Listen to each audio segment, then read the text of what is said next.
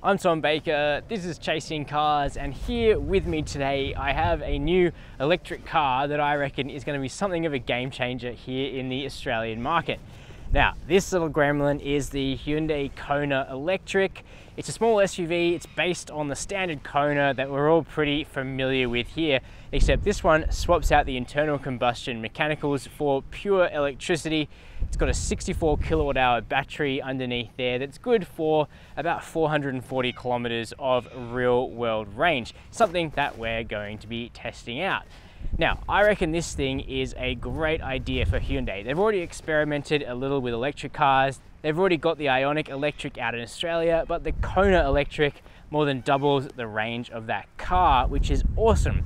Secondly, it's based on this good practical SUV form factor. And thirdly, inside there are some upgrades that help to justify its 60,000 Australian dollar price, which is not cheap for a Hyundai. However, you are getting one of the highest ranges of any electric car on the market that isn't wearing a Tesla badge.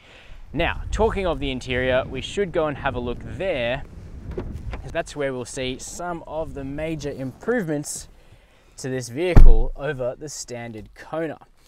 Now, obviously, to help justify such a high price point for a Kona, they have had to improve and spruce up the interior a bit, and I reckon that's actually worked because it starts with what is, you know, really quite a nice stone grey and blue leather combination. Now, you don't have to get this if you don't want this relatively light and futuristic looking interior colour. You can just stick with black leather. But you know what? I actually like it. I find it quite calming, quite relaxing, even and sort of platitudes like that. But coming back to the functionality of it all, it's good. But what I like is that you actually get a completely different dashboard and center console to the normal Kona. So there's this big console here that sits between you and the front passenger and it appears to float because it does have a big storage space underneath it, which is kind of cool. And you have all these satin buttons to control the electric car stuff and the convenience functions. So there's this push button sort of transmission. Not this car has a transmission, but you know, you got the go button and the reverse button. You got all the climate control stuff here. You've got your heated and cooled seats because this is actually the Highlander model. So Kona Electric comes in two models for Australia, Elite and Highlander. This one gets even cooler stuff got wireless charging here in a little opening tray ahead of the transmission buttons. And then up here on the dash, you've got an 8 inch touchscreen with navigation, DAB, digital radio, Apple CarPlay, and Android Auto. Now, head of the normal Hyundai steering wheel in this kind of nice ice green sort of color. You've got a digital driver display, which always shows you your range, which is good to know, the overall charge of the battery, and whether or not at present you are using up or generating electricity through braking. And you can see your speed in the center. Plus, you got a heads up display as well, which is cool.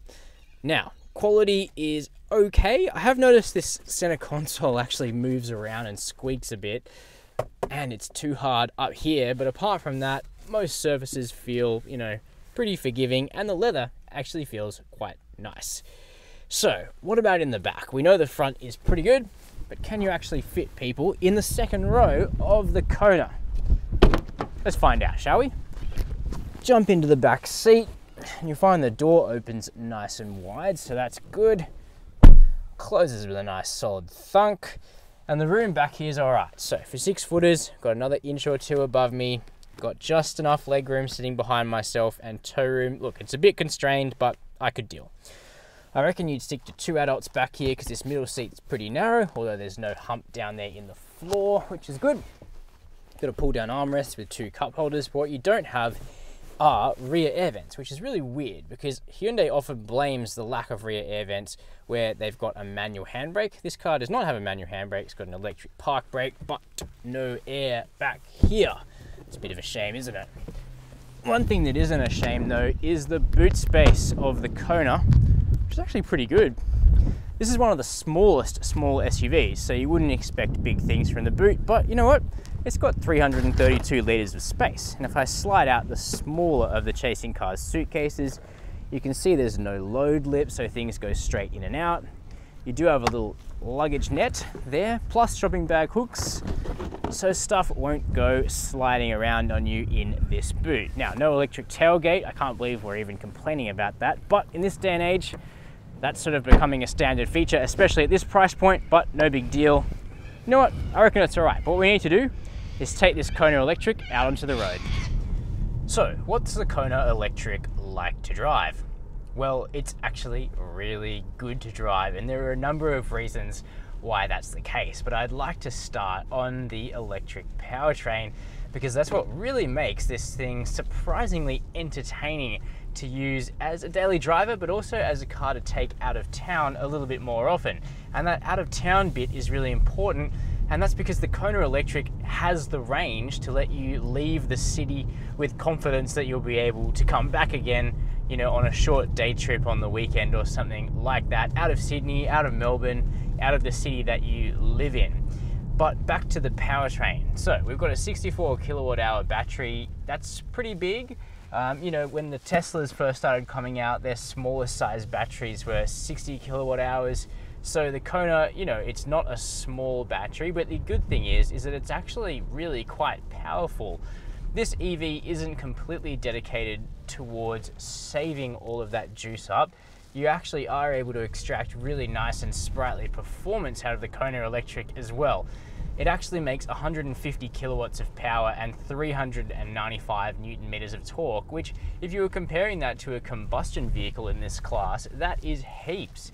In fact, that's considerably more torque than the Hyundai i30N, and it's all available instantaneously, of course, because that's how electric cars work. All you have to do is plant your foot, and even at 60 kilometers per hour planting your foot, you get an immediate chirp of the front wheels because there's simply so much torque going to them. It's really entertaining. And compare that to the Kona's now second most powerful engine, which is the 1.6 litre turbo. That makes 130 kilowatts of power and 265 newton meters of torque. So this thing has, you know, heaps more torque than that, and it feels genuinely usable as a sort of everyday performance car and you know what? I really like that part of the Kona Electric. Naturally, if you drive it in a more sedate manner, uh, you will get more range. Driving the thing like a madman means that you won't get as many Ks out of it. That said, I am finding every time I drive an electric car, the range is a truer indication of what you're going to get than in basically any internal combustion vehicle. So it's not hard to drive the Kona Electric and actually get 400 kilometers plus out of it. You just don't be silly all the time. Um, but yeah, it's it's a good reliable amount of range, and the best thing is that you can drive it with two people in the car, with the air conditioning going, with the electrics and the sound happening, and you're not diminishing that range too far. So I do think it's it's easy enough to get uh, you know what the claim is out of this vehicle. Now, it's not completely silent in its operation. You do get a sort of simulated whirring effect that you can notice especially at low speeds, and perhaps that's just to make you feel a little bit more comfortable with the Kona Electric, make it feel a little bit like a normal car to drive. Now, compare that to the Volkswagen e-Golf that I actually drove a few days ago, and you'll be hearing more about that later. That vehicle operates in basically total silence, so getting into the Kona, it's kind of weird having this simulated noise, and I can't figure out a way how to turn it off. I personally would prefer to turn it off. I do notice that it, it bings and bongs on the outside of the car uh, when you're reversing, uh, which is probably pretty smart actually because it does tend to creep up on people with virtually no sound, unlike a combustion car that is.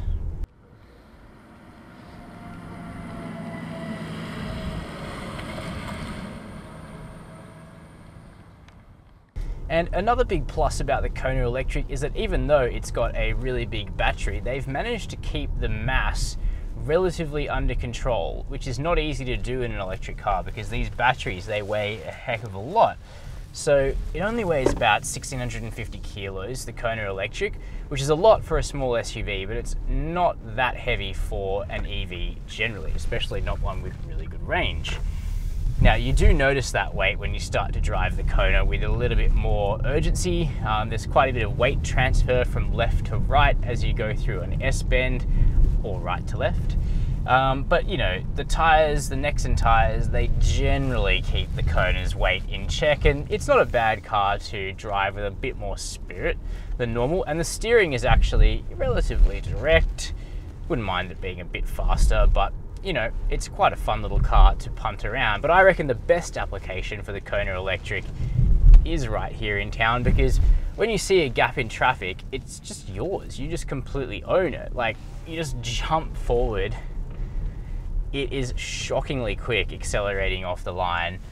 If it had all-wheel drive and it was able to put all of that performance to the road with less tire chirp, it'd be really stunningly fast. But I still really love it. The throttle response is, you know, as crisp as it gets. And that was what I was reflecting on with with electric cars the last few days I've been driving this Kona is that the throttle response is like silkier than any combustion vehicle ever could be because you just have a completely direct relationship to the to the forward motion of the vehicle. It feels like a Dodgem car. I actually find it quite addictive. It's great.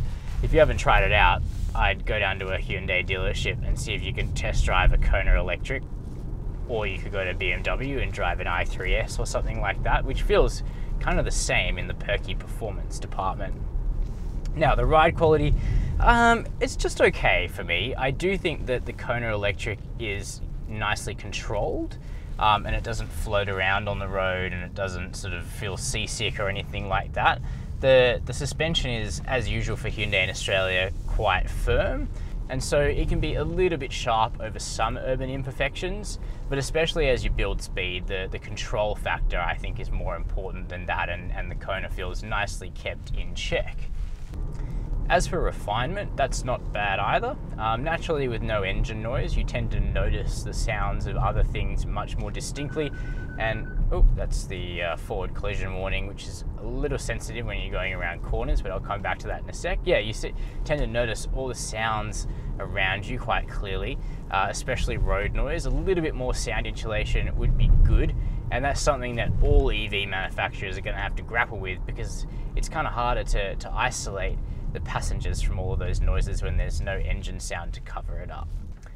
On the safety front, both models are equipped with Hyundai's Safety Sense system, as you'd hope for at this relatively steep price point.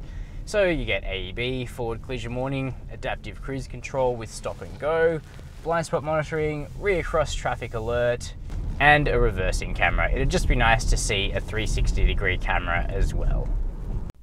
So those are my first impressions of the new Hyundai Kona Electric. I really think this EV has something to it. It's the first time this kind of range has been made accessible to so many people.